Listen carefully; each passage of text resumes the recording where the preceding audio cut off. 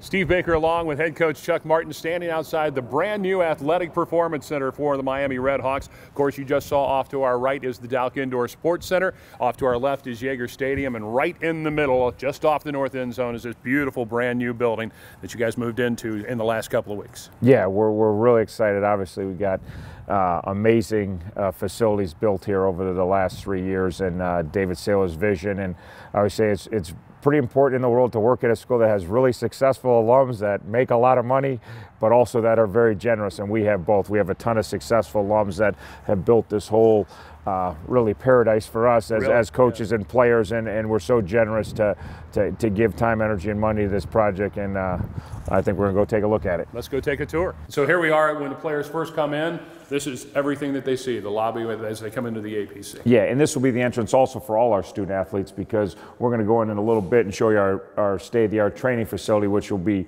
all our varsity sports and all will be using the training facility. So it's it's not just a great building for football, but it's great for all athletics and a great par- partnership with Mercy Health. All right, we're, we're going to go upstairs first. This building has been specifically designed to help these players have the most efficient day possible. We're going to start off first with one of the favorite the favorites of the players as we go into the players lounge and this is an awesome place for our players to hang out build camaraderie, build team unity. You have an unbelievable view of our weight room down below. We're gonna have three gaming stations. We're gonna have pool table. We're gonna have foosball. We're gonna have all sorts of stuff in here for kids to have fun. Great for players. Great for families to come hang out and enjoy life. And uh, it's it's an extra special thing that a lot of schools our size don't even dream of having a facility like this. We're gonna cut through and go right over, right over to our team room. Our team room seats 150 people and we really designed it like a giant home theater. We didn't want it too big. We wanted it cozy. We want our players to be right on top of us when we're coaching them. We're going to have all our team meetings in here. We're going to have all our special teams meeting here. We'll have our O&D unit meetings sometimes in here. And then obviously we'll use it for tons of recruiting functions. Uh, David Sayler used it for an all-staff meeting this morning. So unbelievable facility, but it's an awesome place. Uh, nice and tight so you'll have a captive audience every time you come in here. Our offensive line meeting room is the biggest of them all uh, because we have more alignment than any other position, and it overlooks Yager Stadium. It's an incredible view. Uh, fortunate in this meeting room, uh, Brandon Brooks has already donated. Uh, a significant amount of money uh, to put his name in the meeting room. We got a nice action shot of Brandon, uh, obviously having an incredible career, first with Houston, now with the Philadelphia Eagles, and we're very proud to have him on the wall. All right, now we're going to step in the quarterback room. Obviously, much smaller than your offensive line meeting room, but obviously we have many, many less quarterbacks. But again, awesome. Ben Roethlisberger uh, donated the money to have his name in, in, in, on the quarterback room. And obviously, again, we talk about you come in here as a Miami quarterback and you see a Hall of Famer standing right on the wall wearing a Miami jersey. It, it gives you extra incentive to come out and be the best you can be and hopefully be the next Hall of Fame quarterback that comes out of Miami. Uh, we're right in the middle of the building upstairs right now. We got the Cradle Coaches mural on this side. We're still doing the artwork. The building's not completely finished. We're still working on a lot of the artwork. We got people working downstairs right now. We're going to head into my office. We've got some of the furniture in. We got the desk. As you can see, we're just starting to move in. Uh, but unbelievable place to work every day. Sets a professional tone to everything we do. This is a main place you'll meet with. I will meet with recruits on a daily basis, which is completely different from where I've done it for three years. We're going to walk out here on the balcony. This is my new favorite favorite view of Yager Stadium. Unbelievable field. Looking at the stadium, you look right down to the Cradle Coaches monuments at the other end. If you're a head football coach and you stare at the Cradle Coaches every day down the morning, when you come into work, you think, okay, we have quite a tradition uphold here at Miami, and we're going to definitely do everything we can to uphold it. We got on the east side, we got our locker room and our equipment room right next to it. Across the hallway, we have our training room and our weight room. So there's four major areas downstairs uh, that we're going to show you right now. Incredible space for our strength staff incredible space for our student athletes. There will be other sports that occasionally come in here and work out, which we're, we're all excited about. Every student athlete that, that is, is housed down here and has a chance to work out in our facilities. We have a cardio area up front. As we walk down this, you'll see the space, but it's attached to the indoor. The door, the door that leaves this building goes right into our indoor, which is critical for our strength staff because we do so much stuff in the weight room and so much stuff on the field. And before we have to run up and down a hill to get that done, but just the access from the doorway for Coach Hark and his staff to be able to train our athletes. Our strength staff has their own basic kitchen. We got some power bars here, we got some drinks, but we got our blenders. We're making our protein shakes. Uh, we're making our weight gain shakes right as soon as they get done lifting. We got refrigerator in here. We got our, our nuts. We got our berries. We got all our stuff in here for our strength staff to refuel our kids as soon as they get done with their strength training. Uh, pretty amazing. Our guys did this already, but they kind of had to scramble and do it in the hallway on their own. Now they got a nice area. We can store stuff. We can keep stuff cold. We can make the shakes with the blenders, and we can make our athletes the biggest, strongest in the MAC conference. I said one of the coolest things was that I can open doors on my cell phone, which I think is really cool.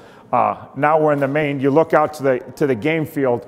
Uh, you look at the wall right here. You don't think of a lot, all right, but actually, architecturally and design, you go from all. We actually looked at the old Batman movies to create our locker room. So we're going to come in and check out our brand new locker room. All right, we're going to turn the lights on. We got these switches. All right, pretty cool to walk in. All right, the artwork here. Then you're going to turn the corner.